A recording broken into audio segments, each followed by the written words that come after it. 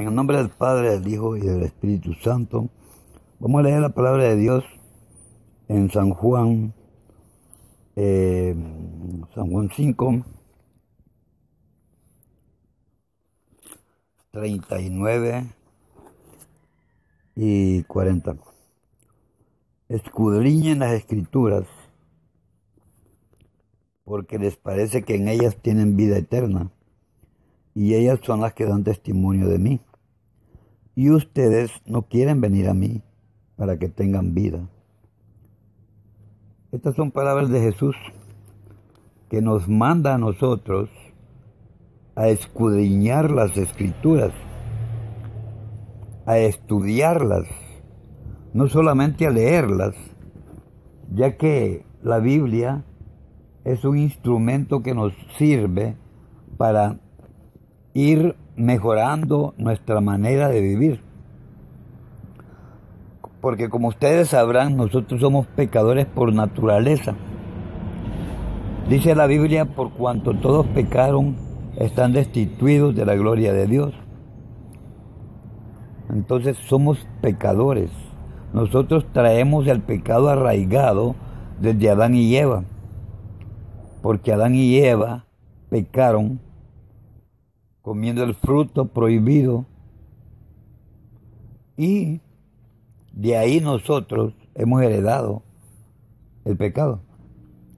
Pero Cristo vino a morir en la cruz por los pecados de nosotros y por los pecados suyos. Por los míos y los suyos vino Cristo a morir. Y ahora lo que tenemos que hacer es aceptar, creer en nuestro Señor Jesucristo y bautizarnos y predicar la palabra. Enseñarles a otros para que otros reciban esa bendición de la vida eterna. Así que tenemos que enseñarle a las personas acerca de la Biblia, enseñarles que la Biblia se estudia, no se lee. Hay que escudriñar cada versículo de la Biblia que nosotros miramos, debemos de escudriñarlo bien, debemos de, discernirlo, debemos de averiguar. Por ejemplo, dice aquí,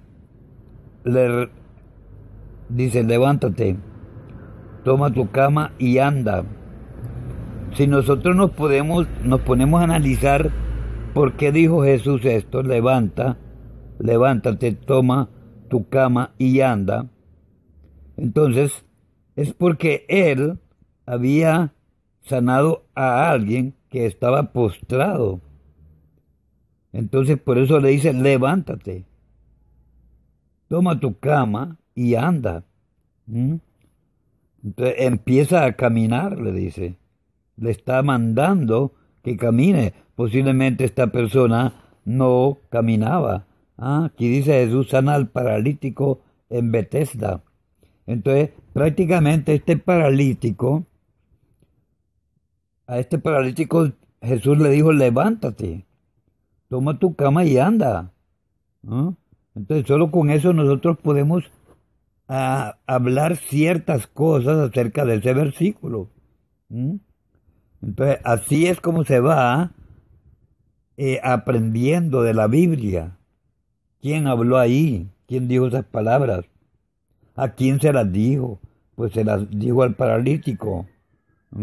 Entonces, toda palabra que nosotros encontremos en la Biblia, todo versículo, tenemos que saber discernirlo y saber si hay otros versículos que dependan de este, como quien dice, el texto y el, contexto.